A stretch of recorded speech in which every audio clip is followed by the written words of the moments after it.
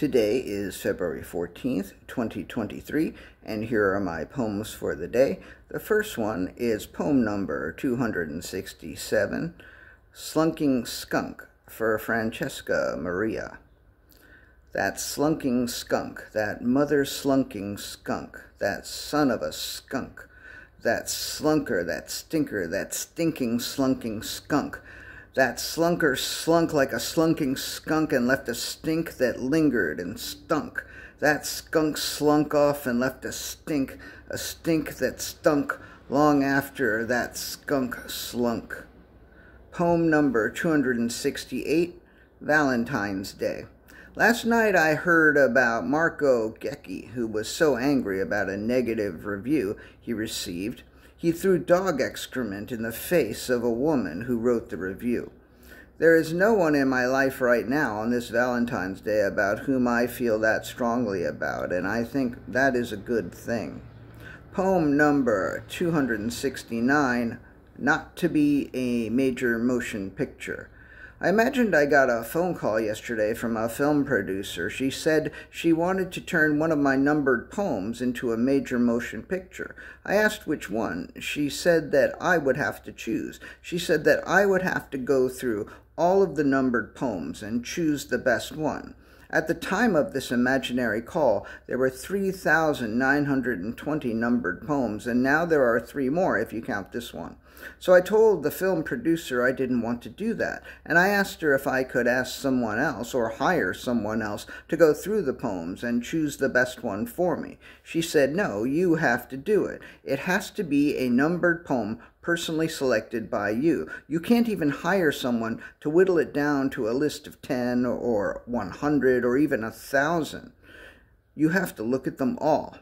I said, I am sorry. I am not going to do that. She said, In that case, I am sorry, but we can't do business together. We do not have a deal. I said, okay, and that was that. After she hung up, I realized we hadn't talked numbers, and I was left wondering whether there was a price at which I would do what she was insisting on. I figured there must be. So if this film produ- producer, who didn't call me in the first place, ever calls me back again, I will try to remember to be more reasonable and open minded. Poem number 270, Accidental Phone Call. I got another call yesterday, although this one actually happened. My phone rang, and my phone said it was Gibby. I had not talked to Gibby in almost 20 years. I had not even remembered that he was in my phone, but I answered because it was Gibby, and I said hello, and he kind of went, uh. So I figured that he hadn't meant to call me. So I asked, Is this Gibby? And he said, Yes. And I said, This is John Hall. And he said, Oh, hi.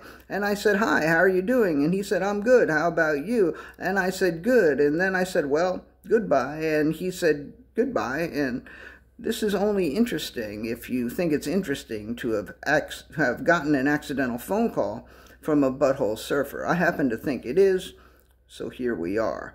Poem number 271, this is the last one for today. Like a fish.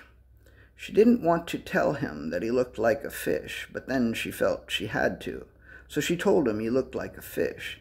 He told her he knew that he looked like a fish, and he told her that he had gotten plastic surgery in order to look like a fish. She asked him if he identified as a fish. He said no, he didn't identify as a fish. He just liked the way fish looked, and he wanted to look like one.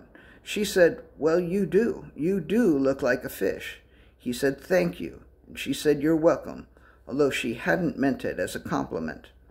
All right, again, a short little set thank you for uh, thank you for being here, and I really appreciate it. And uh, if you're celebrating Valentine's Day, I hope you have a happy one. That is all.